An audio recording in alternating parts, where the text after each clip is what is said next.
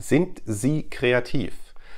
Das ist eine Frage, die ich gerne bei meinen Vorträgen stelle und im Schnitt, glaube ich, gehen so 50 Prozent der Hände hoch.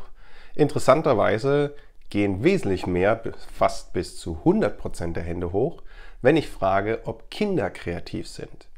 Wir glauben wohl alle, dass Kinder kreativ sind. Nun, ich glaube ja, dass wir alle kreativ sind, aber Kinder ganz besonders. Das liegt auch ein bisschen an der Biologie. Da kommen wir vielleicht in einer anderen Folge nochmal dazu. Und natürlich bekommen wir unsere Kreativität auch ein bisschen abtrainiert. Sehr interessant ist aber, dass es ein kreativer Kick sein kann, wenn wir uns einfach nur das Problem, die Herausforderung aus dem Blickwinkel eines Kindes vorstellen. Es gab dort als Beispiel in Amerika eine Untersuchung, bei denen wurden Erwachsene gefragt, was würdet ihr euch wünschen, wenn ihr einen Wunsch frei hättet, der alles erfüllen kann. Also ihr könnt machen, was ihr wollt. Ihr könnt morgen einen Tag gestalten, genauso wie ihr ihn haben wollt. Was würdet ihr denn zum Beispiel ändern? Und diese Frage hat man auch Kindern gestellt.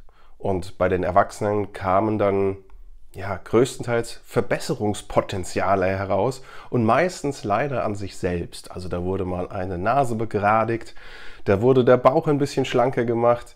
Also alles Dinge, die ja bei sich selber etwas verändern.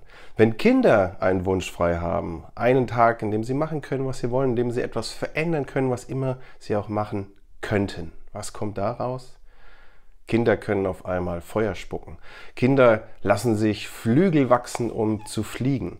Das ist die Fantasie, die Kinder haben. Und es langt allein schon für einen Kreativprozess, sich vorzustellen, man wäre wieder in der Rolle eines Kindes oder sich vorzustellen, wie würde diese Herausforderung ein Kind beantworten. Und schon haben wir bessere, kreativere Ideen. Deswegen nutzen Sie einmal wieder Ihr kreatives, kindliches Potenzial. Also nicht kindlich denken, äh, nicht kindisch denken, sondern kindlich denken. Und stellen Sie sich vor, wie würde ein Kind Ihre Herausforderung angehen? Wie würde Ihr Problem vielleicht in einem Kindergarten gelöst werden? Bleiben Sie kreativ, möge die Kreativität mit Ihnen sein.